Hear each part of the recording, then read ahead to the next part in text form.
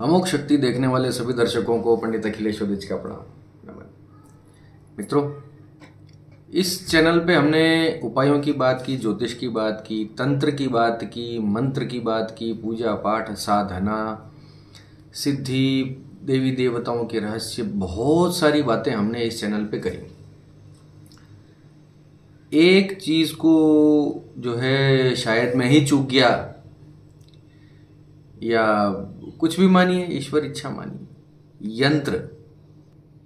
यंत्र क्या होते हैं? यंत्र के बारे में जो है, काफ़ी कम ऑथेंटिक जानकारी इंटरनेट पे मौजूद है। मैंने देखा, पहले मैंने चेक किया कि कितना कुछ जो है इंटरनेट पे मौजूद है। ऑथेंटिक रूप से जो वैज्ञानिक भाषा है, वैज्ञानिक परिभाषा है यंत्रों की, वो मुझे बहुत कम मिली। तो मैंने सोचा कि यंत्रों पर एक वीडियो बनाना चाहिए कि आखिर ये इसका क्या विज्ञान है, क्या चीज़ है, आखिर ये कैसे प्रभाव डालते हैं हमारे जीवन के ऊपर? तो आज इस वीडियो में हम बात करेंगे यंत्रों की, यंत्रों के विज्ञान की, आखिर ये इसके पीछे का रहस्य क्या है और ये किस प्रकार से जो है काम करते हैं। देखिए, यंत्र का शाब्दिक अर्थ जो है वो यम धातु से बना है। यम यानी अपने ऊपर नियंत्रण नियंत्रण शब्द में भी यंत्र है। किसी चीज़ को, किसी वस्तु को उसके कंट्रोल में रखना, काबू में रखना, उन शक्तियों को।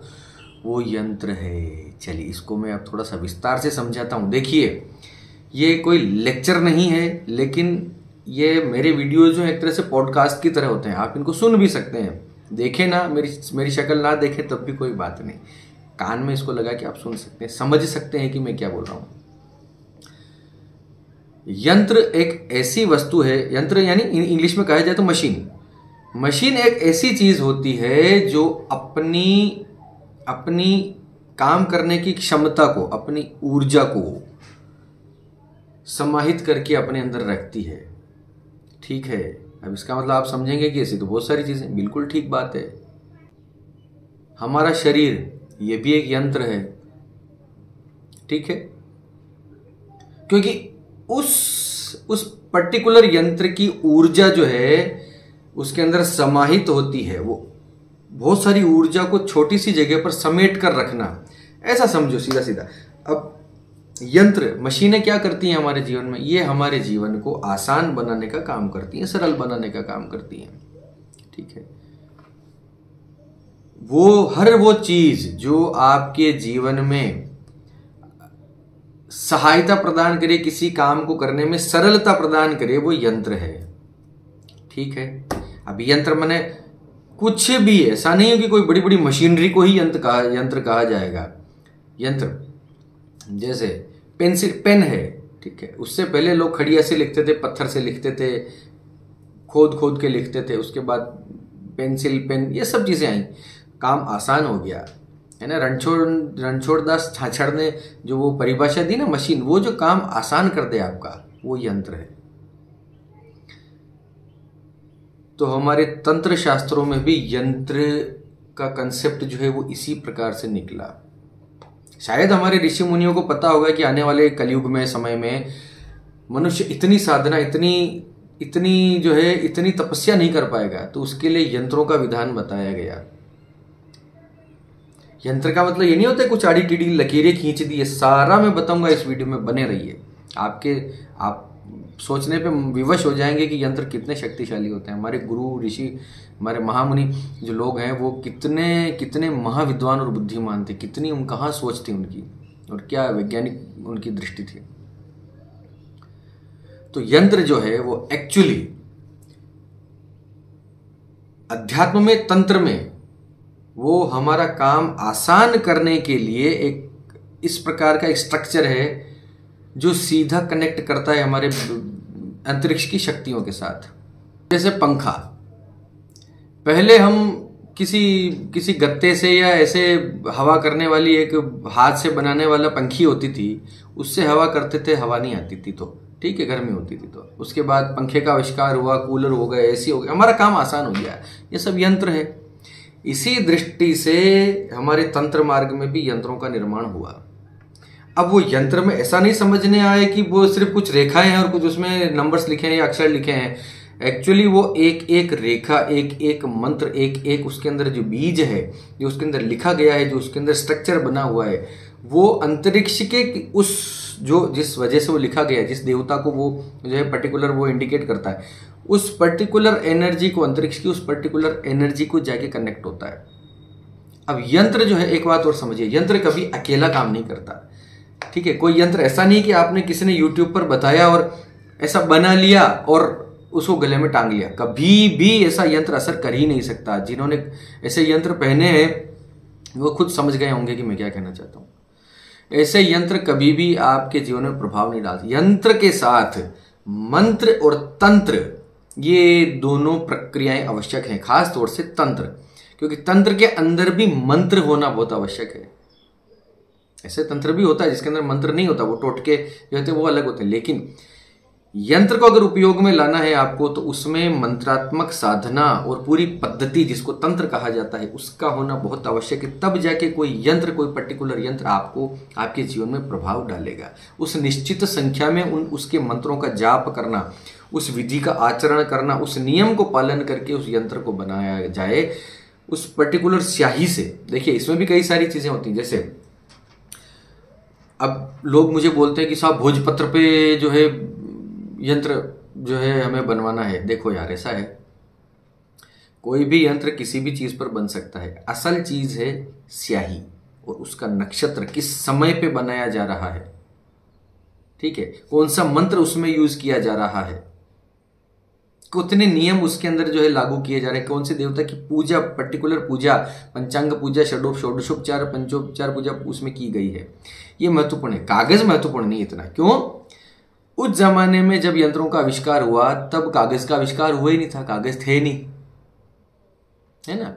तो भोजपत्र पे ऋषि मुनियों ने जो है, और शाही भी नहीं थी, ऐसा इंक तो थी नहीं। तो उन्होंने चंदन को घिसके, किसी लकड़ी को घिसके, और ऐसा यंत्र बनाना आरंभ किया। एक्चुअल जो शक्ति है, वो उस यंत्र के स्ट्रक्चर में है। सेकंड नंबर पे अगर मैं कहूँ तो उसकी स्याही में है। ठीक है? तीसरे नंबर पे कहूँ तो हाँ भोज ऐसा नहीं हो कि भोजपत्र पे कोई निष्क्रिय होते हैं या अभी काम भी, भी नहीं कर ऐसा नहीं। भोजपत्र पे भी बहुत उत्कृष्ट होते हैं यंत्र ठीक है? कागज़ की बजाय। कागज़ से ज़्यादा प्राथमिकता तो मैं मैं ऑब्वियसली मैं भोजपत्र को ही दूँगा। लेकिन ना मिले तो आप कागज़ पे भी बना सकते हैं। कोशिश करें कि स्याही जो है वो रक्त चंदन और अष्टगंध और इस प्रकार से स्याही केसर वगैरह ये सब जिसमें जिसका विधान हो वो स्याही आप ले सकते हैं। फिर इसमें एक चीज़ और मैं ये कहूँगा कि यंत्र एक्चुअली वो स्ट्रक्चर है जो आपके अंदर की अपरिमित क्षमताओं को, अपरिमित संभावनाओं को जो है, ये ऊपर उठाता है। ये उजागर कर देता है। इतनी ऊर्जा आपके अंदर इससे पैदा हो सकती है कि जिससे आप अपने जीवन को अत्यंत सुखमय, सफल बना सकते हैं। आपके अंदर की ऊर्जा को परिष्कृत करने का, परिशोधित करने का, उसको विकसित करने का कार्य यंत्र करते हैं। कैसे? जैसे आपने पाँच हज़ार चार सौ बत्तीस को गुणा करना है सत्रह हज़ार आठ सौ पैंतीस से। अभी आपको इसके लिए एक्चुअली कैलकुलेटर लेना पड़ेगा।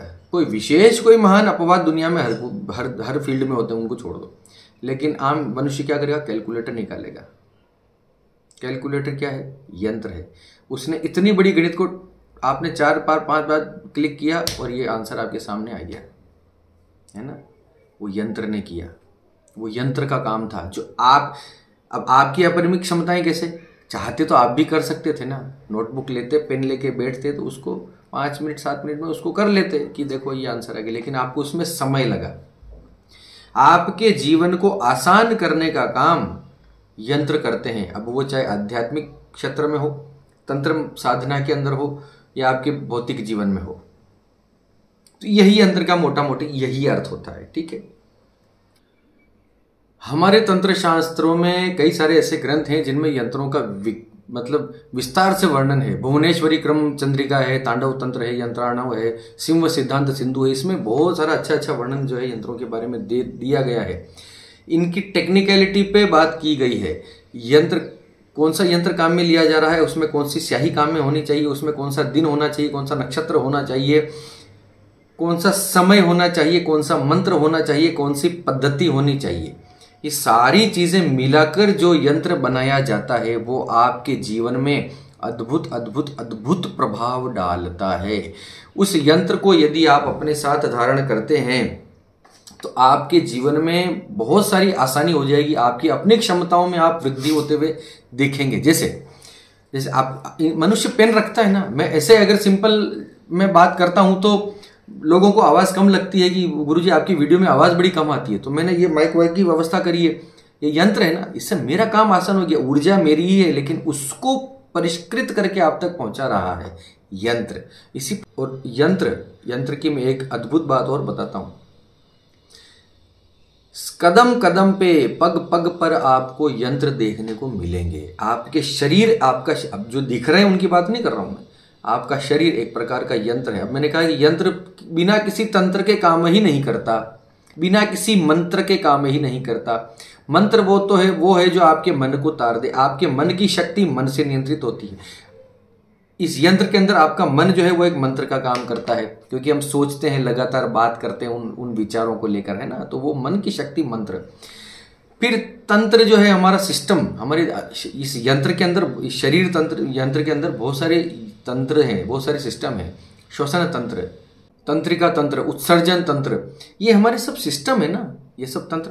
तो यंत्र कब काम करेगा? जब उसके अंदर मंत्र और तंत्र की शक्ति को मिलाया जाए। सिर्फ़ ऐसा कागज़ पे लिख के जो यूट्यूब पे बताया जा रहा है इंटरनेट पे कि ऐसा लिख लो और ऐसा गले में डाल लो, वो कभी असर कर ही नहीं सकता जब तक उसके अंदर तंत्र की, उस प्रोसेस की और उस पर्टिकुलर मंत्र की शक्ति को समाहित न किया जाए।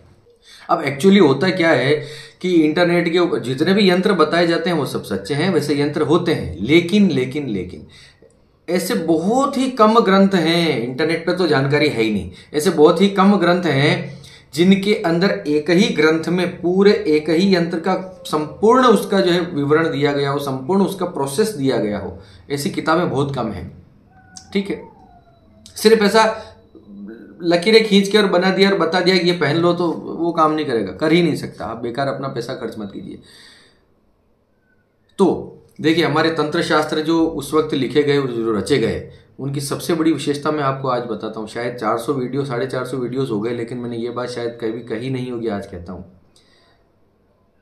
कोई भी तंत्र का प्रोसेस किसी एक बुक में कंप्लीटली आपको नहीं मिलेगा, जो ऑथेंटिक बुक्स हैं। ऑथेंटिक जो बुक्स होती हैं, चाहे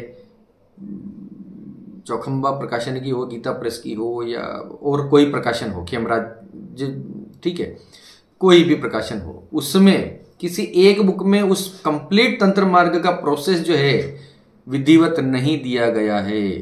थोड़ा सा उस किताब में थोड़ा सा शारदा तिलक में थोड़ा सा मंत्र महोदधि में थोड़ा सा तंत्राणों में, तंत्र में थोड़ा सा कुलाणों में अलग अलग चीज़ें जो है अलग अलग तन उसमें प्रोसेस की विधियाँ उसमें अलग अलग अलग जगह से लेनी पड़ती है, उसको प्रोसेस करके जो एक साथ उसको पुरस्करण की विधि करी जाती है। ये बात मैं पूरी ज़िम्मेदारी के साथ कर रहा हूँ। हाँ आजकल ऐसे कुछ ऑथर्स हैं जो एक ही बुक में उन सारी चीज़ों को देने का प्रयास करते हैं, लेकिन उसमें भी अधूरा छूटा हुआ होता है, मैं आपको बता रहा हूँ। क्योंकि बहुत सारी चीज़ें मात्रिकाएँ होती हैं, बहुत सारी बातें होती हैं, मुद्राओं कंप्लीट प्रोसेस में अगर आप जाओगे तो ये इतना मुश्किल इतना कठिन काम है, तपस्या, तांत्रिक मार्ग से तपस्या करना है कि आम आदमी के बस का है ही नहीं। और मैं ये कहता भी नहीं कि आम आदमी इन सब चीज़ों में पड़े इतना कर ले, इतना अवश्य करना चाहिए कि कम से कम सुबह आधा घंटा, पौना घंटा, एक घंटा, कम से कम आम मनुष्य को देना ही चाहिए अगर आपकी इसमें रुचि है तो। चलिए, बात भटक जाएँगे। बात यंत्रों की चल रही थी। तो यंत्रों का जो है, मैंने सीधा सीधा ही आपको बता दिया, अब यंत्र में क्या क्या आवश्यकताएँ होती हैं किस किस प्रकार से बनते हैं, ये चीज़ें मैं आपको अगले वीडियो में बता दूँगा। ये वीडियो काफ़ी लंबा हो चुका है, इस वीडियो को यही संपन्न करेंगे। बने रहिए, अगला वीडियो बहुत इंपॉर्टेंट होने वाला है यंत्र के संबंध में। ये मैंने इसका प्रारंभिक परिचय दिया, अगले वीडियो में किस प्रकार से यंत्रों को बनाने की विधियाँ, और हम इस पर थोड़ी टेक्निकलिटीज पे बात करेंगे। चलिए, इसी के साथ आप सबके मंगल की कामना करता हुआ मैं पंडित अखिलेश आपसे विदा लेता हूँ। धन्यवाद, सर्वे बहुत सुखी